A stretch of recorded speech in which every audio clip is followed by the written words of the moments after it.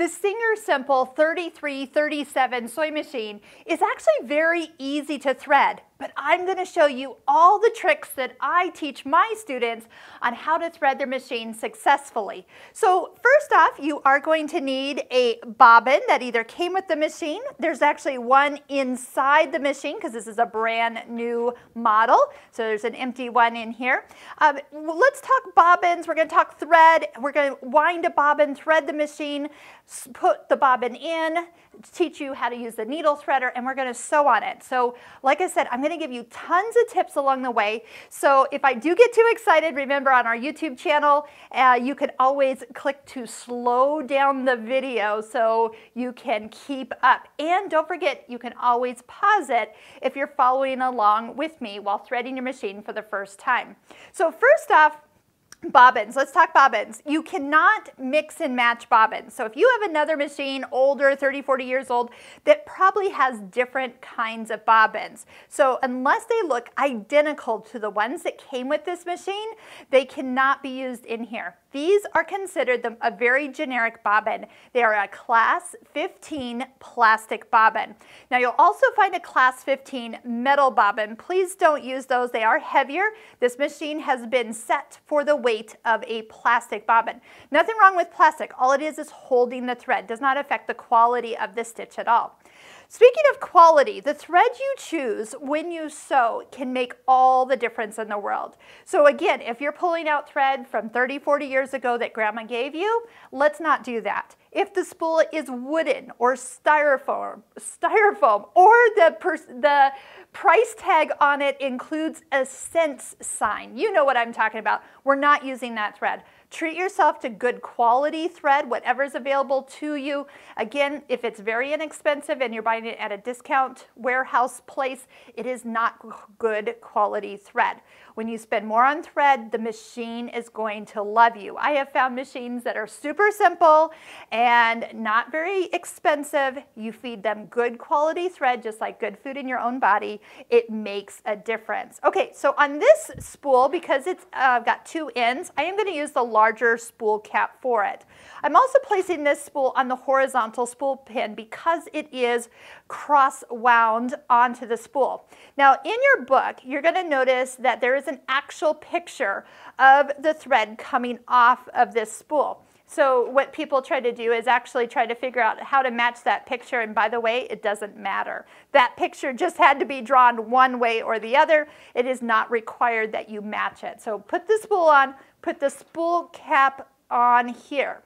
Now, if your thread doesn't have the little X's and it has what I call stack thread, it, and it kind of goes up the spool, that's when you put it on the vertical spool pin and it spins off the, the thread comes off that much easier when it is vertical. Of course, with this, you don't need a spool cap, so just set it on there. I do have that little uh, felt pad to put under it as well. All right, so you're putting your spool on. If it's horizontal, you're putting a spool cap on. Something like this, you also have that small spool cap. This would go on here, and this would go in place as well. So just another way to hold the spool in place.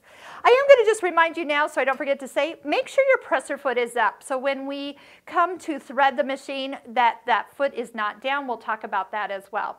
As we start to wind a bobbin, we're going to follow the blue pictures on the machine. Now, every time you thread the machine, you will be using this first step number one. Even though it's gray back here, it is also blue here. So always, and what that does is it keeps the thread coming smoothly off the spool. See how it's evenly placed? Next, what we're going to do is follow around this little pretensioner. If you have sewed before and you've ever wound a bobbin that came out like fluffy, um, it wasn't real tight on the bobbin, it's because you did not get it all the way into this little uh, spring-loaded guy here. The thread needs to go underneath, and look, I'm using two hands, underneath, click it in, and you need to come in and around and over the top of it, just like the picture shows with the arrow sending you this way. After you get that in there, it should have a little resistance. If you don't get it in there, that's when that bobbin doesn't wind as smooth and you don't get as much thread on the bobbin.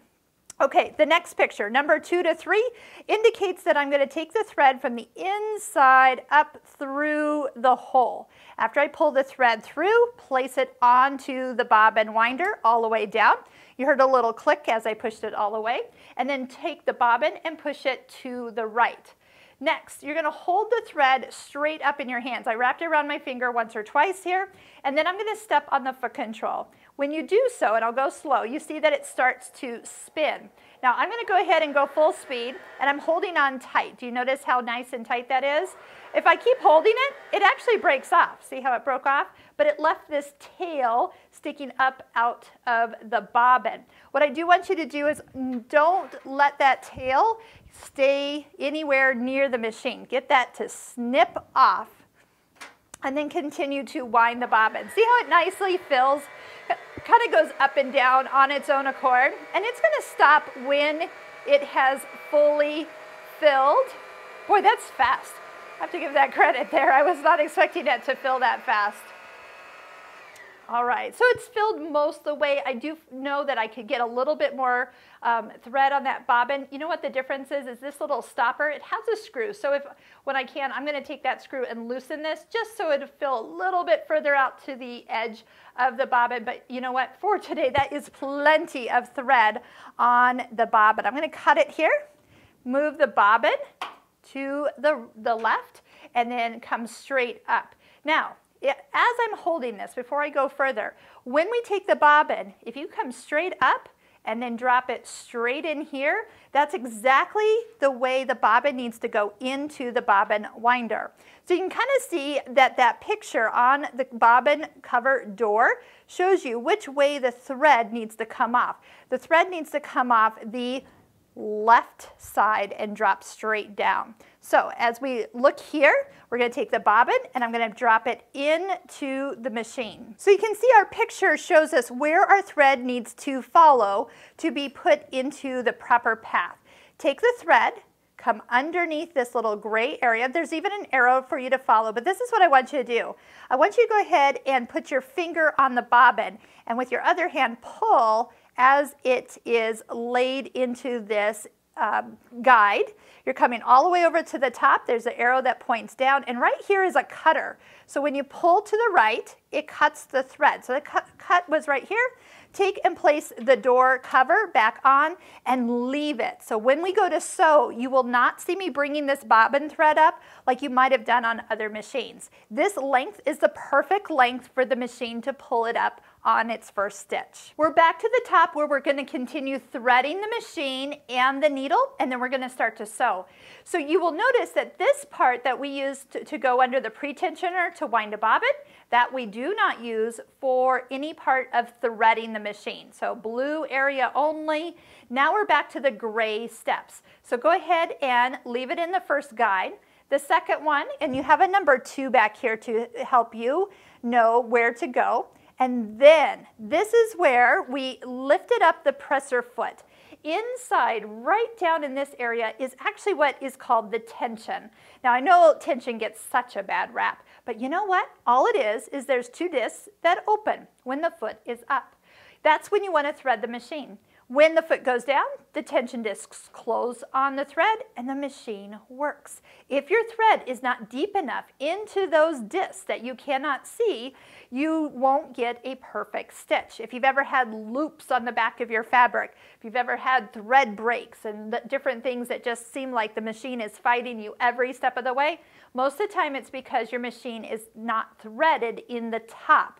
Now I said it's on the, the loops on the back. Most people think it's the bobbin and it's not. Okay, so here's my little trick. When you go to thread down through this area, number one, your presser foot is up. Number two, take and hold the thread at the spool. And while you come down, you're threading with purpose. So three, Four takes you up to this side and give it a little floss back and forth. If you do this, I guarantee you are going to find everything working smoothly. Now, I couldn't see the take-up lever. That's the next step. So I'm turning my hand wheel uh, to towards me, and there are arrows on the hand wheel to remind you that. and I'm looking for that little silver guide to come up. So I didn't do that before I started threading, so I'm kind of glad I saw that uh, so I can show you. So you're going to come up at 4, you're coming in at 5 on the right, and then down. You just go around it and it comes right on down. Down at 5. If you don't get it in here, again, machine is not going to work smoothly.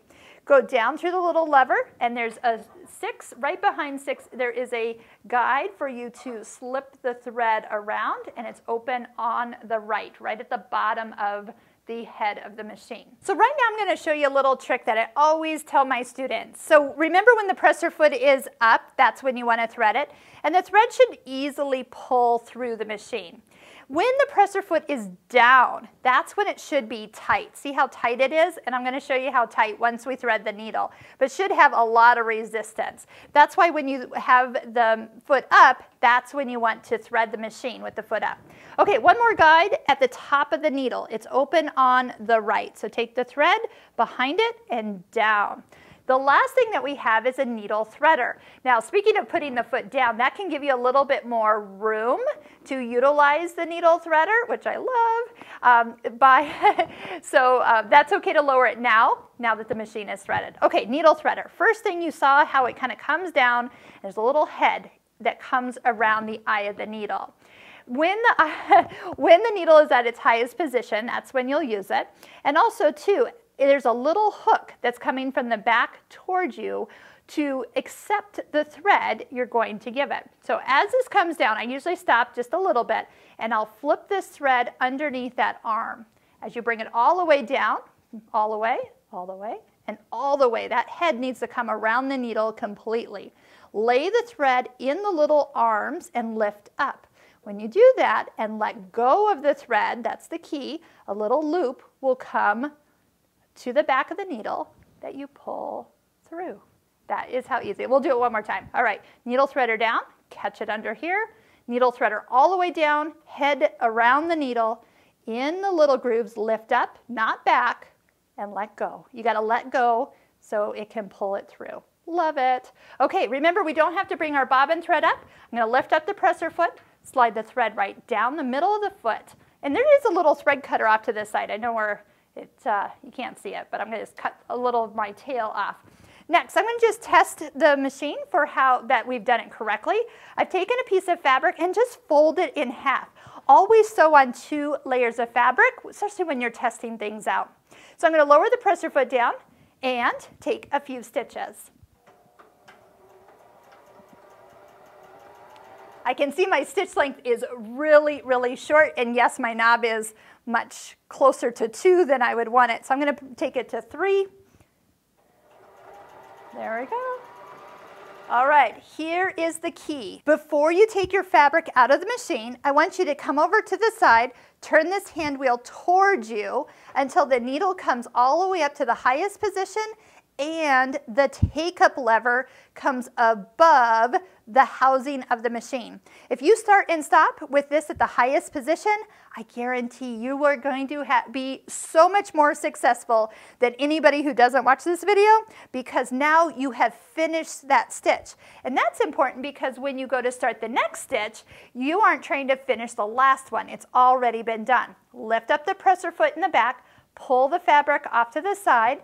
The cutter that's on the side you can use from front to back or back to front, either way. So you should see the same looking stitch on the front and the back, we do. And so if I do want to go ahead and do that again, I can put it underneath, lower the presser foot down, and you'll notice I am not holding my threads when I start to sew, and that's because I stopped with that take-up lever at the highest position. So right now with the needle down, if I want to pull that out or be done, needle all the way up, take up lever all the way up, lift it up, pull it out, and cut the thread. That is how successful it is when you thread the machine correctly. So next up, let's get into the different stitches and stitch length, and we're going to even explain tension as well.